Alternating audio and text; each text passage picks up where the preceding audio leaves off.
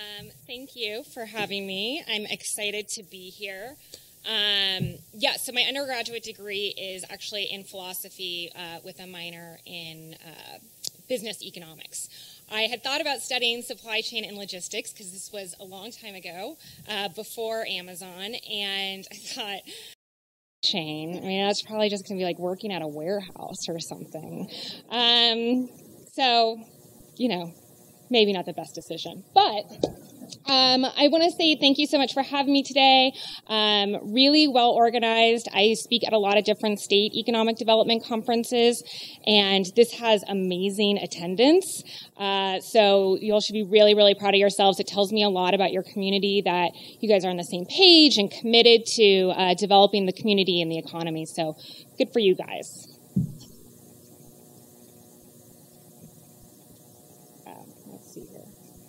All right, so I'll talk a little bit about our company and what we do, which will kind of give a background into um, my background as well.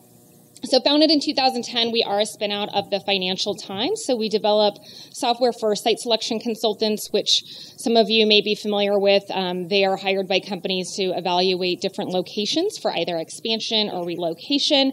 Uh, we do primarily focus on attracting foreign direct investment. Um, my background is primarily in technology companies out of Silicon Valley, so I do a lot of that. Um, and again, kind of the stats that we have. You know, we have a lot of different clients. I manage the state of Louisiana's foreign direct investment. Um, we've done quite a bit in investment for them. And again, just having kind of the, the suite of software and database products, uh, including one called Incentives Monitor. I manage uh, that product for the US. We track all tax incentive deals globally. Um, so, really interesting to see the programs that are out there. So, if y'all have any questions about tax incentives and best practices, which I know everyone just loves, um, I'm happy to share some data there. Um, spoiler alert Oregon is a little low on the tax incentives. All right. So, talking a little bit about trends in company funding. So, I've used this database a lot, especially when I was on the EDO side, um, but now on the lead generation for other economic development organizations.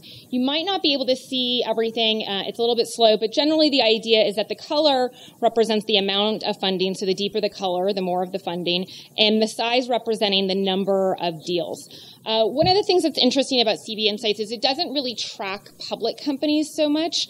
Um, what it really is tracking more of those uh, VC-backed um, private privately funded companies, uh, which is interesting because you know it's great to get the Amazons and the Microsofts, but realistically, you know, coming from a market like Phoenix, we didn't get a lot of those. And we didn't, um, and a lot of the communities I represent now, they're just not going to be in the game for that. We don't have the labor pool. Um, we don't have that kind of talent in general. Logistically, it might be a little bit difficult. Um, the other thing that's interesting about uh, CB Insights is you can track funding rounds. So if you're kind of familiar with the life cycle of uh, companies getting funded, you know, there's like the angel stage where they get an angel investor, then it goes down to an A round, a B round, a C round, and then so forth. So really, as smaller markets, it's better to concentrate on kind of tracking what companies are getting B round of fundings. Uh, if it's a you know company that does software as a service, they might be looking for a sales office or customer service to grow. Whereas if it's a company that maybe does subscription boxes, something like that, um, they're looking to take distribution or manufacturing in house. So um, you can see the internet is the biggest one. I wanted to focus on business products and services because um, I did note that that in financial came up quite a bit for this region in terms of past investment.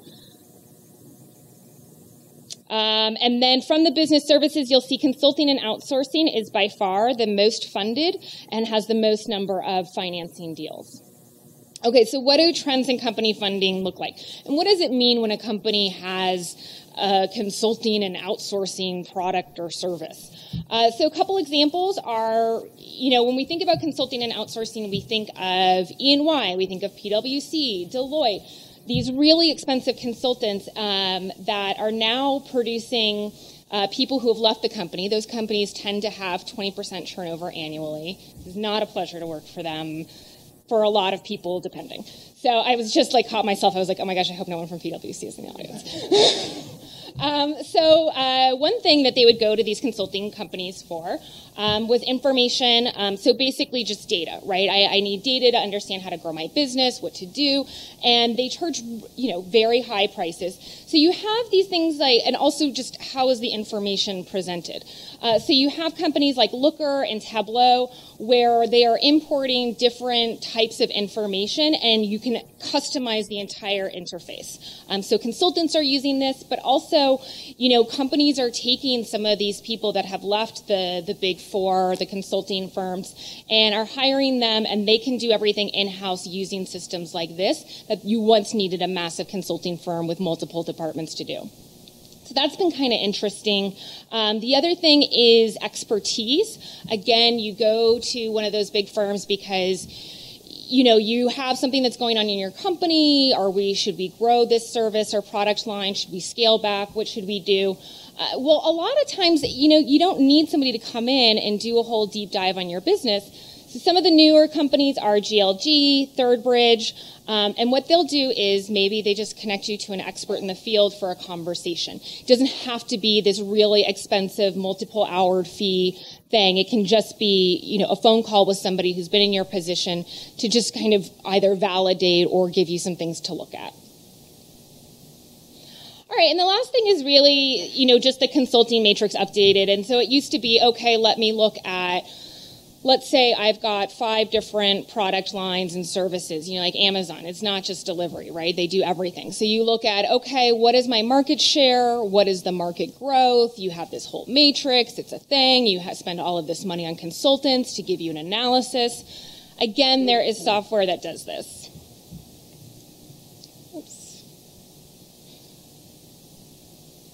Is that right? Okay. It's like I gotta. All right. All right. So the other thing is financial services. Um, trends here are investment firms and funds, insurance. We're seeing a lot in lending. If every single time you go to buy something, it says it's like now kind of like the home shopping network thing where it's do you want to buy this for 50 bucks or do you want to make eight payments of whatever amount? So we're seeing that a lot now. It's actually really interesting because millennials are um, they don't like having credit cards. Maybe it's a hangover from the recession or what have you, but a lot of them actually prefer these kind of multi payment systems rather than actually taking on what they would consider like traditional credit. Companies like this, um, Robinhood, um, how many people here listen to podcasts? Anyone? Yes, right? I'm a podcast nut. And the fun thing about podcasts is you get to listen to the same ads over and over and over again. I do not have a Casper mattress, but it is always in the back of my mind.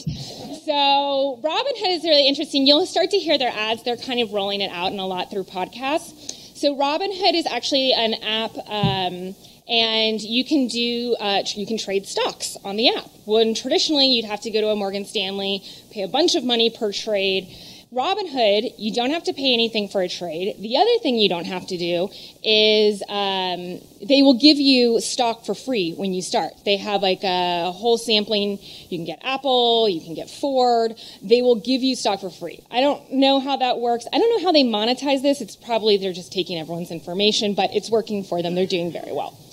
Um, GreenSky is interesting. This is specifically for home improvement projects, which has been a growing industry. So basically, you go online, you figure out what your home improvement project's going to be, they'll estimate out what it's going to cost, and they will create um, lending financing opportunities. Um, the other one I have highlighted here is Oscar. Um, initially, it was Oscar Health. Um, this was a client I actually worked with. They're out of New York.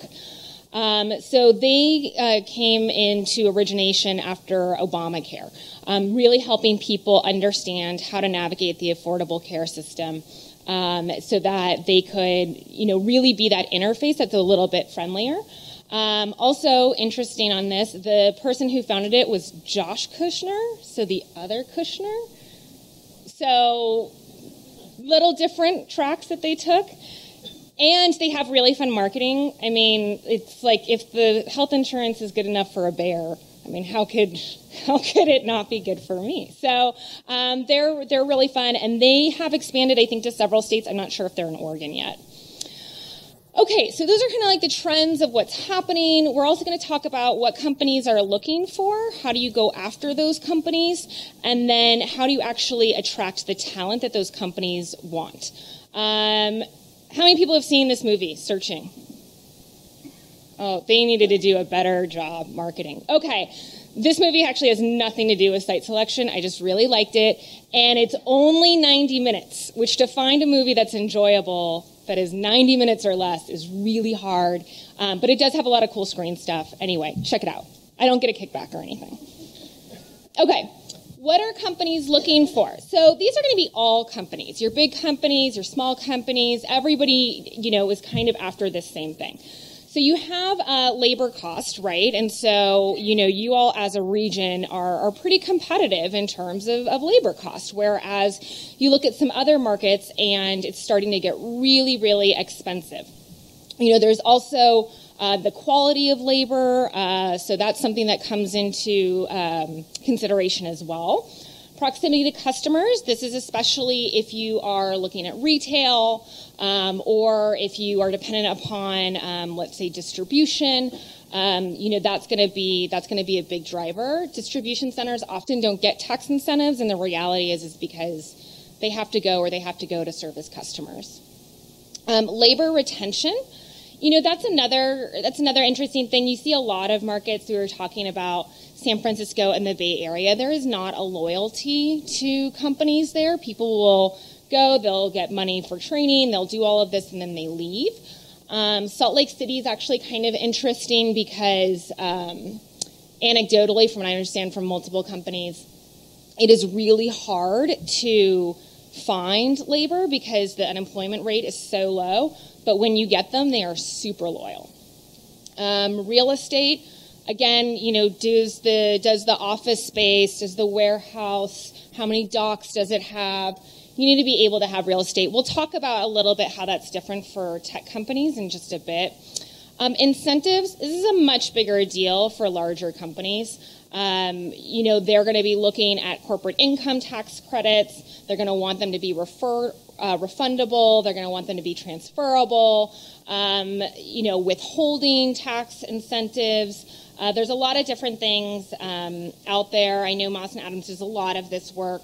So it's you know it's interesting for a lot of companies that are smaller and are tech companies they don't really need incentives. It's not going to be a major consideration of their move, which also makes them a really good target. I come from a market that doesn't have a lot of tax incentives, and so finding companies that aren't going to ask for a lot of tax incentives is a, a beneficial relationship. Um, the other thing is the, you know, it's really hard to get corporate income tax credits when you don't have any corporate income yet because you are somehow worth a billion dollars, but you haven't made any money. Um, quality of life. Uh, again, this is big for all companies now. It doesn't it doesn't matter um, the size of the company. If it's a tech company, maybe on like distribution and light manufacturing, they don't care as much. But even on you know manufacturing deals where it's welders, like they care about quality of life. Um, and we'll we'll talk a little bit more about that in a bit too. Okay. Um, so one of the things that our firm does is we um, we track all projects globally and um, within the U.S. So anytime a company moves, anytime Amazon mo- expands, you're like, stop using me as an example. Anytime Walmart expands to uh, a new location, um, we we record that. We have a very large team of people that do this, and this is what they do. We also look at all of the, the press releases, and oftentimes, you know, there's an announcement, uh, there's a quote from the Economic Development Group, there's a, co- a quote from whoever the person is inside the company. They often say, This is why we moved. So we took a look at this, and one of the things I thought might be interesting to do, since we're talking more about what technology companies are looking for or you know even the differences in the last 10 years. So you can see here proximity to customers. Um, number one, I mean, that's going to be a huge driver of a lot of moves. You have to have proximity to customers if it's inherent to your business model. Um, the other thing is market growth potential. Um, this is, you know, had a bit of a drop, and it's interesting to see why that might be. Um, I think a lot of that has to do with because we don't have as many tangible things you're selling everywhere, so it's maybe not as much of an issue. Um, so we're not 100% sure, but that might be something to consider. Um, but this is where it gets interesting. I mean, skilled workforce is qu- quoted 10% more of the time now.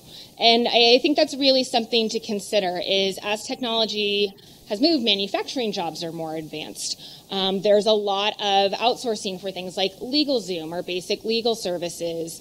You know, now if I'm going to hire somebody and I'm going to have a, a real, um, you know, successful operation, I need people who are more advanced than just, you know, doing the same forms again and again. Um, I'm going to go below first technology and innovation. Um, you know, it might be university partnerships or community college partnerships. It might be because there's a clustering of knowledge um, or skills or innovation and research and development that's happening around something that relates to their industry. Um, but the last one I want to talk about is the regulations and business climate.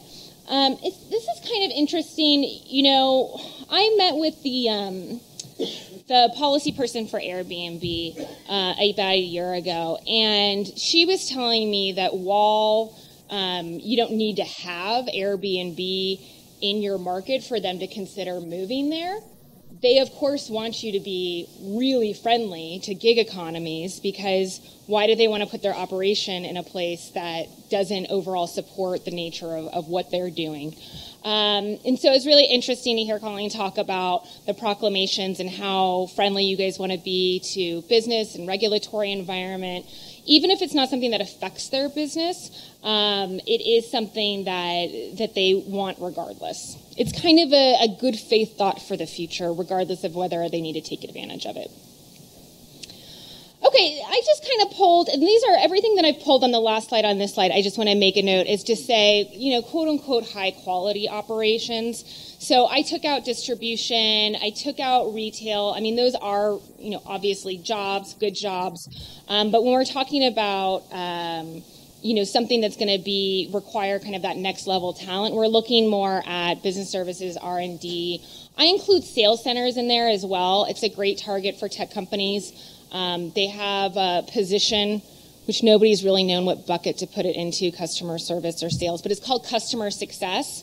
So, you know, let's say you um, use Square, right, and they make your website. So you'll call and you'll ask about using Square, or you're having a little bit of an issue with it, and so it's they want these people now who do everything and who can handle everything. So they'll hire you. You can answer basic questions, but then they want you to be the type of person that can upsell them. It's kind of like when you call AT&T or Verizon or whoever your provider is now and you say, "Oh, I just need to buy an extra data plan for the month," and then it's like a 15-minute sales thing.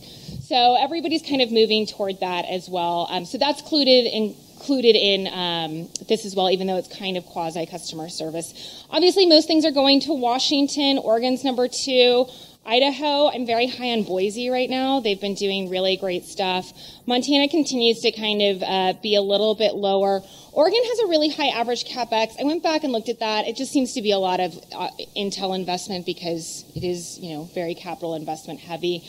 Um, you know, there is there hasn't been a lot recently in this market, um, but I have seen, you know, a general trend upward, you know, statewide.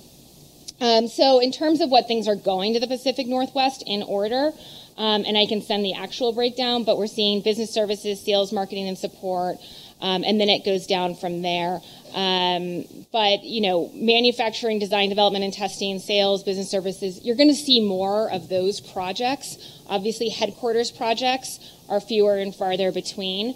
Um, even though coming from the economic development organization side, all of our stakeholders were like, why aren't we getting Apple? Why aren't all these headquarters moving here? It's just those projects don't come up a lot. And if they are, it's oftentimes just threatening to leave. Okay, so what are companies looking for? Um, so these are, we're going to talk about like some unique characteristics of fast growth companies. So again, this is, you know, I had a lead generation team that specifically focused on tech. We specifically looked at the Bay Area. Um, venture capitalists are getting much more involved in these decisions. They're going to give you funding. They're going to, you know, give you a management team to operate. Um, they're going to really put in some processes Um, but the other thing they're going to do is they're going to look at you and say, why do you have your sales team here in San Francisco? Like, this doesn't make any sense. Or why do you have your customer success people and you're paying them 75 grand a year? They're still all living four people to an apartment. And we really think you should consider exploring other locations. Um, so, you know, these are kind of some of these smaller companies that aren't looking to go to a Seattle or an Atlanta or a New York. Um, but the first thing to understand is really the lack of experience. So, you know, these companies are small, they're growing really fast, they can't hire people quickly enough. And typically, the people who are in charge have not a lot of experience. So, you know, the thought process from the CEO, who's really mainly done engineering, is oh, well, we need to hire people. That's human resources, right? Like, we'll just put the human resources person in charge of looking at the expansion. Well, the human resources person isn't going to know how to talk about operating costs. They're not going to know how to talk about regulatory environment. They're just going to want to know how many people do you have and what's the average wage. So they're missing a lot of things. And so it's your job as economic developers or people who are supporting um, you know, the ED organizations themselves with information to really help arm them with what they need to know because you're acting as the site selection consultant for these companies. They do not typically go out and hire them unless they've massively screwed up and they have to go back and fix it. Um, culture is really important. Um, so this is going to be the culture of a community. Um, they're going to want also, I'm going to include uh, amenities under that as well. Uh, so now we see more and more economic development organizations putting into their response for proposals um, how many coffee shops do we have? How many craft breweries do we have? Uh, and it's really interesting to see how that's becoming a bigger and bigger driver. Um, how many, you know, miles of bike lane do we have? These are things that um, speak to, and they might not be hard quantitative things, but they're speaking to the overall culture and feeling of a community. The culture thing is also really interesting because um, I see more and more tech companies that they don't want to go to Phoenix, Salt Lake, Portland, Denver, Austin, because it's been done. Everybody's there. They're going to be a small fish in a bigger pond, and it just doesn't make sense for them. So everybody's kind of looking to see what those next markets are, which is why I mentioned Boise, because we're having a lot more people ask about it. The other thing that's interesting about Boise is that I kind of akin to this area is just the outdoor lifestyle. I mean, you know, you guys have a lot of things going for you in terms of golf courses. Um, but the other thing to consider is a lot of younger people don't play golf anymore. And so what do they do? They mountain bike and they do regular hiking and trail running and all of those things. And so being able to take people out of San Francisco, but kind of move that culture and lifestyle and livability uh, to another market is really, really important. Um, herd mentality. Um, this is interesting because while we have people looking to new markets, um, the Boise thing was overnight. Like it was nobody asked about Boise, and then everybody asked about Boise. I, I feel like they're on like a group chat or something like that, and they just pick a city. Um, same thing happened with Detroit for a while, and then everybody realized that was not a good idea.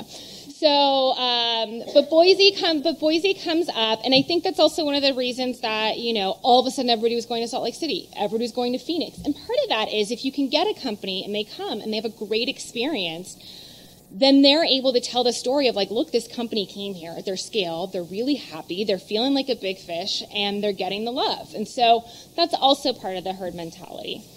Um, politics, I mean, this is something that uh, tech companies really, really care about.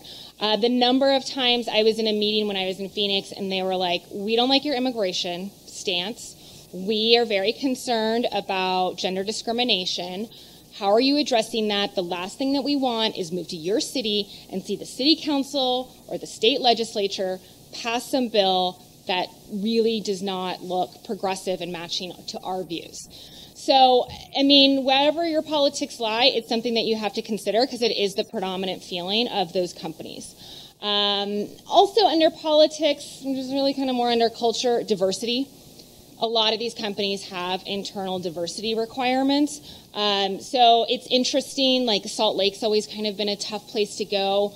Um, it's interesting, Goldman Sachs did a very large uh, location in Salt Lake City. Um, part of that is they have amazing uh, language diversity. People speak a lot of different languages, but they don't have a lot of ethnic diversity. And so they actually let anybody from any Goldman Sachs, most 90% of positions say, if you want to move to Salt Lake, you can move to Salt Lake because they need the diversity that will come from other markets. Um, flexibility.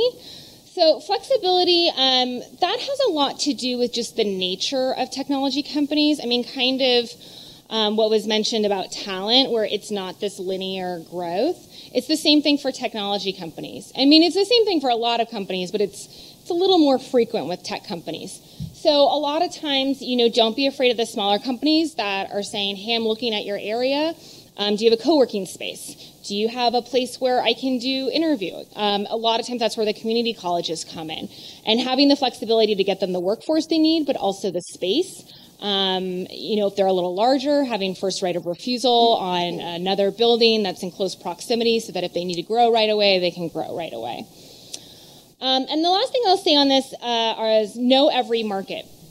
So this kind of goes back to them not having a lot of experience.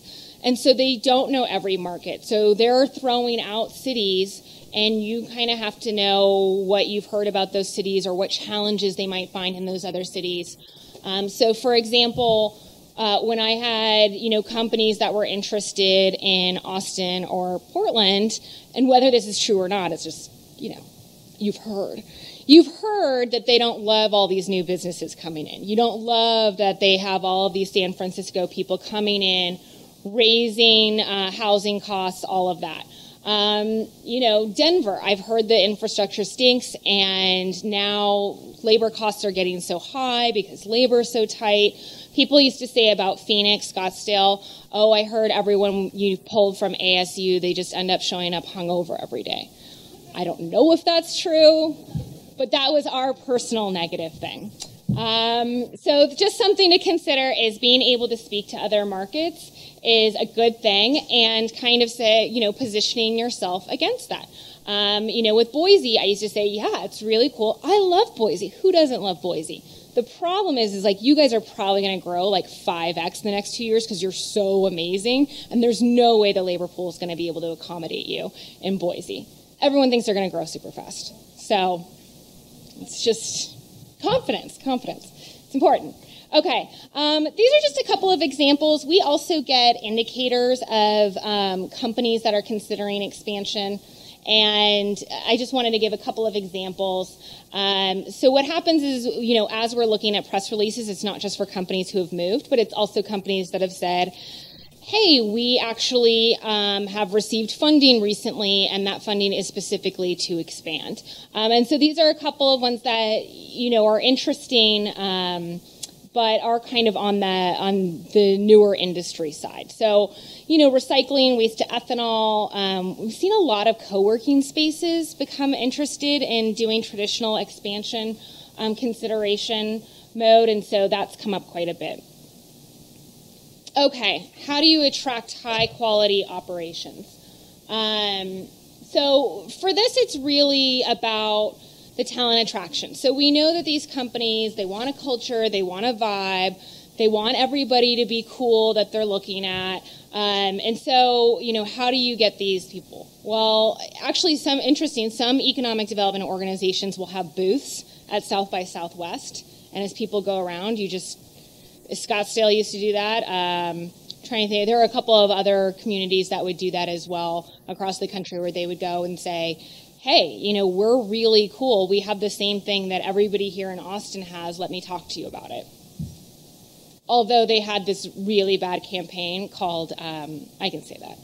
They, that it was called Swipe Right on Scottsdale. It was supposed to be like a play on Tinder. Oof. They got me like, they were like, hey, have a Swipe Right Scottsdale shirt. And I was like, hmm, I will be sure to wear this frequently. Um, So, uh, oh, let me go back here. Okay. So, actually, before we get to the talent attraction, I forgot I had this in here. So, our company, you know, you mentioned we've gotten a billion dollars in investment. Um, part of that is knowing what we call combat indicators. So, it's really um, what is an indicator that a company is looking to expand. So, um, obviously, if they've announced a current strategy plan or expansion plan, that's a good one. Um, that doesn't always happen. Uh, we do a lot of FDI, so you'll see some things in here about international, but um, it's really interesting to um, understand, you know, what's going on in their industry. If there are other competitors in their industry who are moving locations, um, you know, clearly there's something happening there. Global footprint, you know, while I talk a lot about going after smaller companies, sometimes it's a it can be a really fast process because they're growing so quickly and they're usually a little late in the game by the time they consider moving. Um, but it can also be stop and start. Um, but the size of the company is always a big indicator. Most of the companies that are doing an expansion have expanded before. Um, R&D spending, uh, that's another good one. Um, exports or contracts in the location, again, you know, that's really understanding whether it be um, investment following trade um, or back and forth commerce, interstate, um, but also just general supply chains.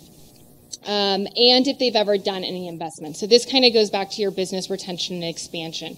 Know the companies in your region, talk to them all the time, see what they need, be proactive, uh, just don't call them when they have a problem.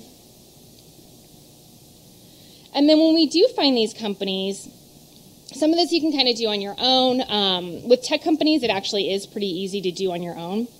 They're usually, they've never heard of economic development organizations or cities or anyone calling them, and your information is free, and they're just so, that's so exciting, and they're so nice.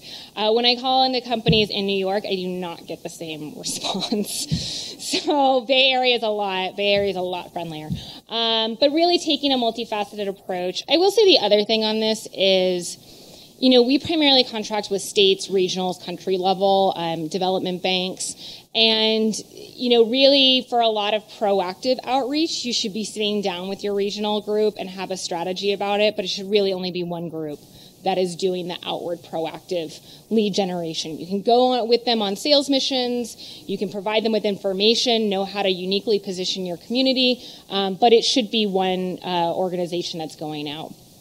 Um, and then the company versus talent attraction approach. So this is kind of at the company level, talking about the talent level. Okay, so before we play this video, I just want to give a little bit of a background. I used to do a lot of work with um, Holland. So Holland, like five years ago, did this whole series of talent attraction videos, and they're still to this day my favorite. Um, so just giving you an idea of this is what they did in terms of marketing to give a people an idea of the cultural vibe feeling of the Netherlands. Um, so if you can put up the video, that would be great.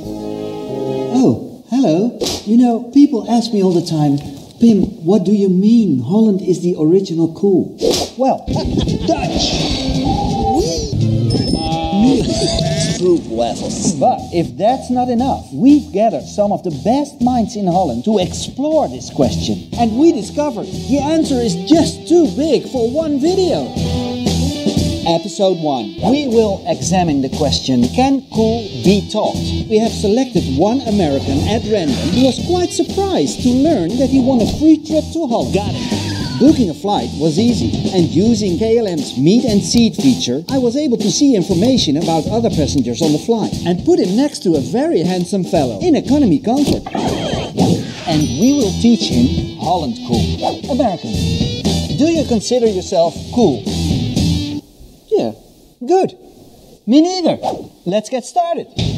We begin with our greatest city, Amsterdam, the birthplace of original cool, where we have been making progressive art, architecture and design for over 400 years. But to truly understand Holland, you must learn to master the bicycle. We Dutch are able to ride it everywhere we go. Because of our 20,000 miles of bike paths and lanes in Holland, bikers always have the right of way. I will teach you everything there is to know about cool. First, the theory, then the skills. There are over 100 varieties of artisanal Dutch cheese. You will know every one of them. Boardingkaas. Wrong. Jonge boerenkaas. Try again. You will know how to enjoy real beer. Dutch. How to eat locally. When to stop and smell the flowers. How to partake in our great tradition of facial hair. How to navigate the canal. How to party.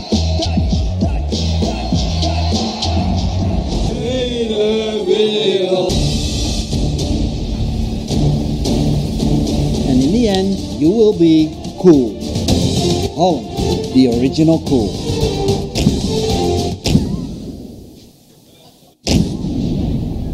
We got to work on that. On the next episode of Holland, the original cool, the original cool experience.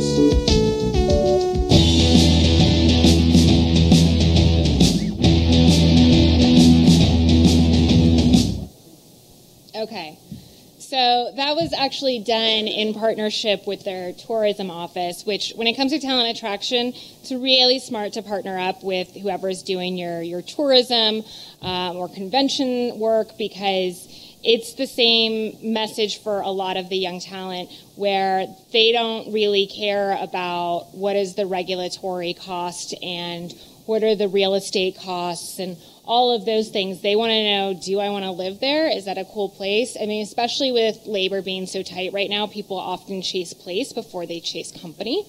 So, um, you know, this obviously did not even mention a single company.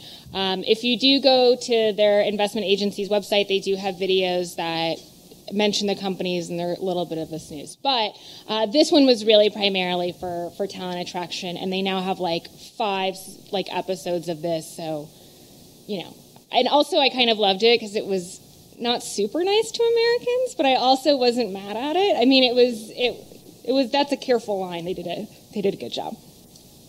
Um, so the other one I want to talk about real quickly. This one's a lot shorter. So obviously Holland oh my gosh, I would love to have that budget and spend that on a video and have it go viral. And of course, you know, stakeholders and citizens are always like, well, can't we just have a video that goes viral, right? Um, that's really that's really hard to do, um, and it's also really expensive. So the interesting thing about this one, it is Dallas, um, which I think was able to put it out through more channels, but the video itself um, was amazing relative to anything they had done before. And this is what we're talking about leverage, leverage what or who you have. Um, so, of course, Dallas has Mark Cuban, who's a big personality, loves Dallas, um, wants more people to come to Mavs games, so perfect for him. Um, so it's it's you know really understanding. All right, who do I have that's here that would be a good spokesperson that could go through certain channels? Um, so if we can play that one, it's a, it's it's shorter getting in the door and getting started. Unlike a lot of communities, a lot of a lot of states, Dallas, you just go to work. If you're if you're young and you're getting ready to start a business, no matter where you live in the world, I'd say come to Dallas because it's friction free. It's really quick, simple, and easy to start a company. There, there's just a different work ethic here. You're going to find every ethnicity. You're going to find every gender. You're going to find every orientation. If I'm taking a tour with a recent college graduate, I'm going to show them how much fun this town is. I'm going to take them to McKinney Avenue. I'm going to take them to Bishop Arts, you know, the American Airlines Center where there's always events. Whatever it is, we all come together. And that's what makes us unique. There's an old saying that if you want to predict the future, invent it. And that's what we do in Dallas, Texas. Every single day, there's incredible entrepreneurs looking to invent the future. Great companies start here, great companies grow here, great investments happen here. There's no shortage of opportunities in Dallas, Texas. That's who we are. Okay, that was like a little more straight and to the point.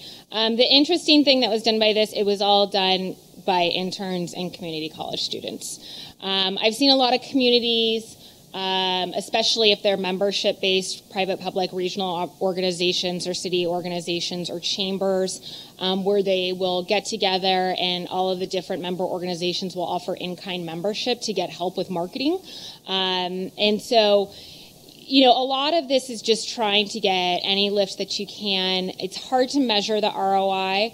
Um, and we'll talk about that in just a little bit when we close out. But um, just really interesting to see what they were able to do um, with a limited budget from the video perspective. Um, obviously, Mark Cuban got something out of that being in front of the stadium and or the arena and the wearing a basketball shirt, and so quid pro quo. That's okay. Um, so the other ways to leverage talent, industry um, expertise, and then social media.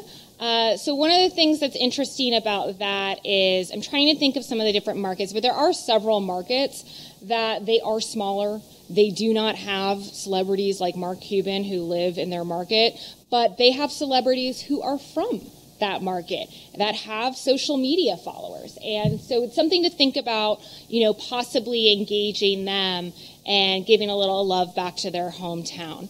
The other thing would be uh, industry expertise. So if you have people, you know, like an economist who is, you know, has a following and people are looking toward that person for, you know, real information, um, asking them to, you know, if they would be willing to help support the community if it's in their interest as well. Um, so something to think about. Um, Kansas City, I'm a big fan of Kansas City's talent attraction. It's they've done they've done a great job at like the the larger level and then more focused in terms of tactics. Um, so this uh, website, they have a website that's just called Think KC, and you can click on any of those pictures, and it tells you a little bit about who that person is, what they do in Kansas City, what they're involved in.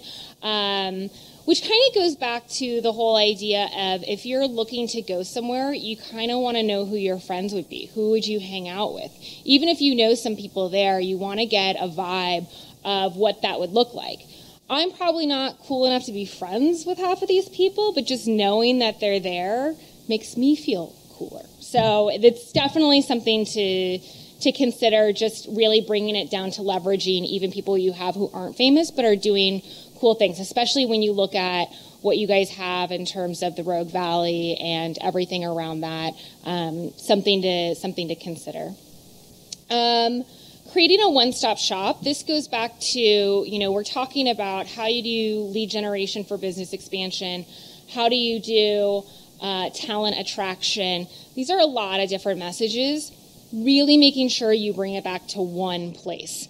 Um, you know, it, I would say go ahead and Google um, how do I move my business to Medford? How do I move my business to Ashland?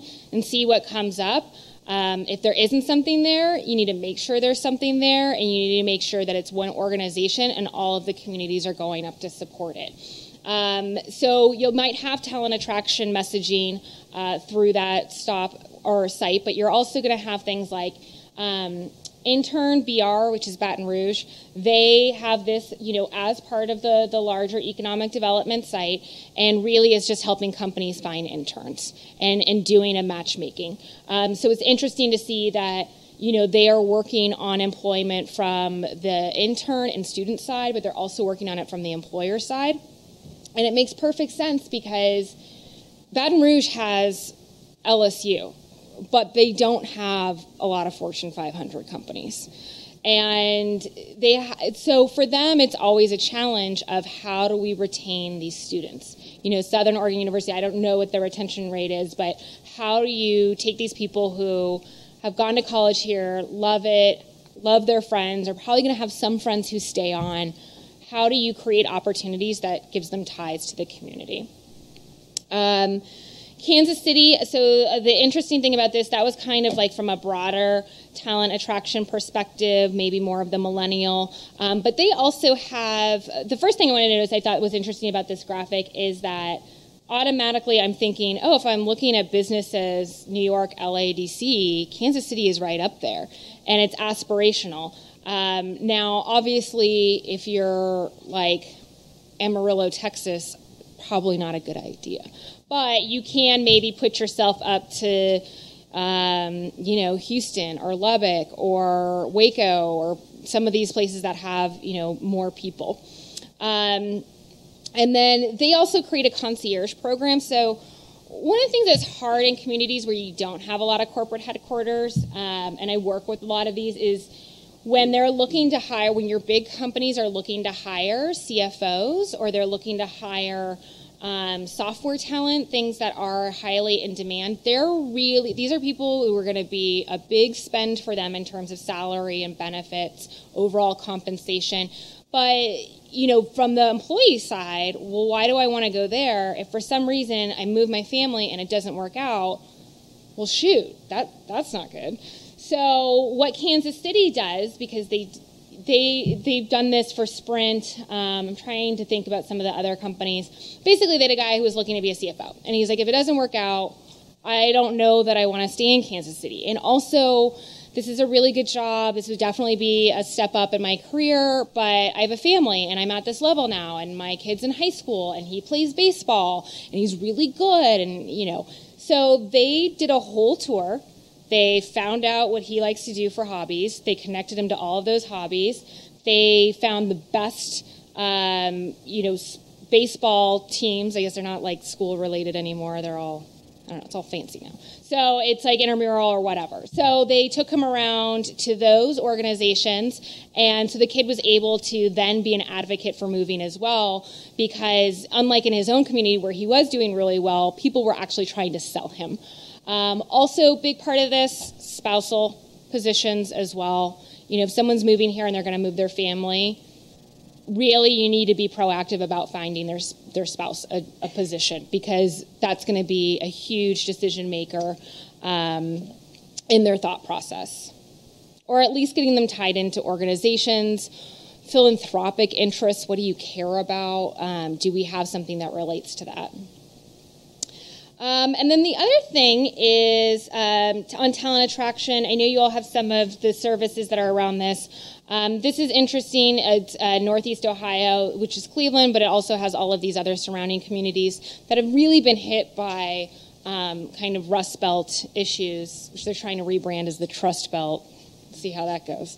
So, um, education and information for small business operations, um, growth opportunities. I mean, this is really what we're seeing more and more is that any service that you're providing, a job board or you know helping small businesses anything like that you have to be looking at it from the employee end and you have to be proactively advertising it to the businesses as well. And you have to learn from these businesses what are the skills that they're not getting what do they need how do you develop training around that how do you find people who maybe have transferable skills, make them aware of workforce development opportunities, and then get them on a career path to these companies that, that need people? And then, of course, trying to do it as quickly as possible. Um, oh, so the other thing on this is going to be know your focus. Um, you know, what's really hard is you go to a lot of communities and you say, well, what's your specialty? I'm trying to help you develop an economic development strategy. Typically, we try to do things on a sector industry focus. We don't want to be all over the place, you know, the traditional rifle shot approach. Um, and they'll say, "Oh, well, we have a we have a biomedical corridor, and we're really good at manufacturing, and we would love tech companies, and we want this and we want that." And I mean, you can't be everything to everyone. Even huge cities, unless you're like Chicago, New York, LA, San Francisco, Atlanta, even those places have uh, have specialties and industry focus that really you know makes more sense for them you know comparative advantage right? And so um, part of that is really knowing your focus double down on, down on that as well. And then it also helps you um, save some dollars as well. If you're just focusing on uh, what you know you're really good at and you can grow and you have a labor supply of and you have infrastructure to support, uh, it makes a lot more sense to spend your money on marketing that than marketing everything. Um, and then the last thing um, I'll talk about, um, I think one other slide after this, is Calgary. I love Calgary's talent attraction. Um, they have Calgary be part of the energy.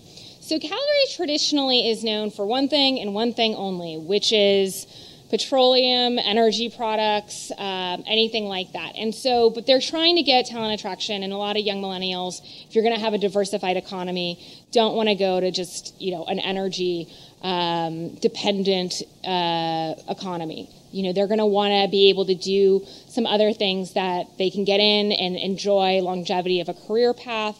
Uh, so they've done a really good job of saying, hey, you think about us as energy, come be part of the energy, and then they talk about what energy means in all these different ways.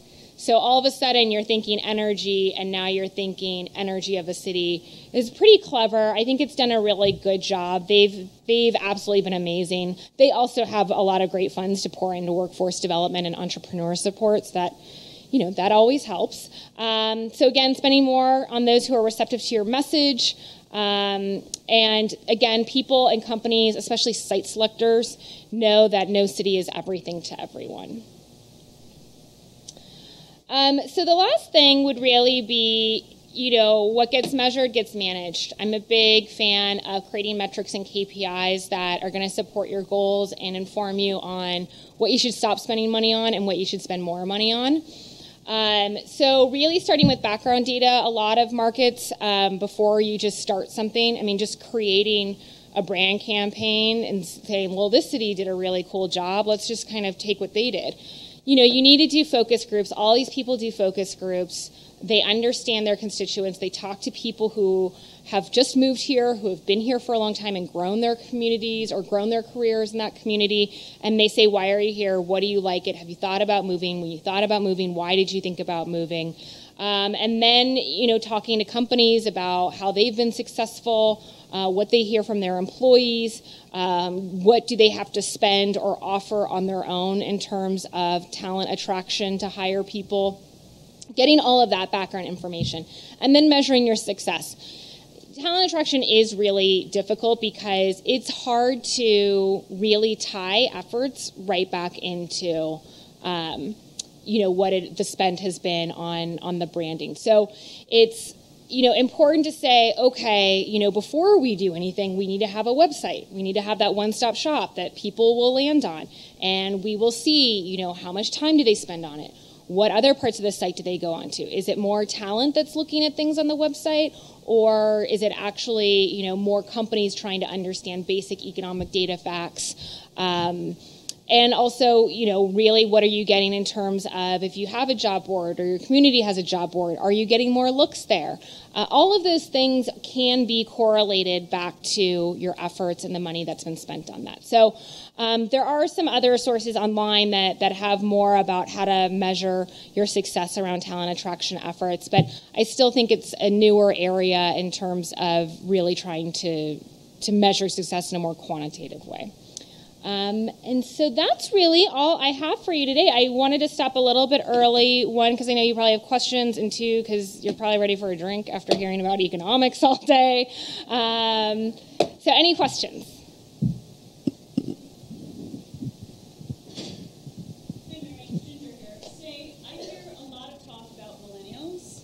Right. And I think that's great. It's the largest group of population in the States yeah. right now. However, we often overlook baby boomers, which is the right. second largest. So, what can you comment on for attracting the incredible value of experience and decades that acquiring talent, as we so sterilely put it, right. into communities to bring that wealth of knowledge into a community? Can you comment on, on that? Yeah, no, absolutely. It is very annoying to me how it's like so millennial focused. Um, I think, but part of that is, you know, and it's so silly too because people don't spend that long at companies anymore. They just don't. They don't spend that much time at one employer. They don't stay in the same career path, even. Um, but there is this thought that I'm going to make this investment. Companies have to spend so much on training, human resources, um, that they want to make sure that they're getting that investment back. And I think that there's also a misunderstanding that. Um, you know, baby boomers don't have the ability to have a long career trajectory. Um, you know, my mom's 78 and she still works because she loves it, right? And so, but she also makes her own schedule now, right? And that kind of goes back to what you were saying about baby boomers is you have these people that have been in the field, they've seen things that are tried, they've seen things that are failed, they've adapted to technology, and now they're really at a place where maybe they just want to take on jobs that really make sense for you know something that can be flexible to them so i think you know as we look at millennials and we're trying to create opportunities for them to scale and grow their career i think what's interesting about baby boomers is creating opportunities where it isn't maybe a traditional work schedule uh, where they can you know start doing that but then eventually get to a point where they've they're really able to use their expertise in a more consultative uh, method. So I, I, think, you know, if companies really, you know, and it's also a good alternative to what we were talking about earlier in terms of hiring consultants and the expense of consultants when you have a lot of great talent um, around. And, you know, I mean, that's even something that economic developers can do. Uh, if you are surveying, uh, you know, your constituents and understanding where there is expertise, and then you're also talking to companies, there might be an opportunity to plug them in together. So, I, I mean, I think that baby boomers are totally underutilized. It's just this concept of, you know, I'm putting money in and am I going to get my return? Um, so something I will also say, I notice you guys do have um, kind of an uptick in terms of uh, retirees moving to Southern Oregon, which I can imagine it's amazing lifestyle, um, and that healthcare in general has been been going strong. So I'm sure we'll continue to see that as well. Anything else? All right. Thank you all for having me. I really appreciate it.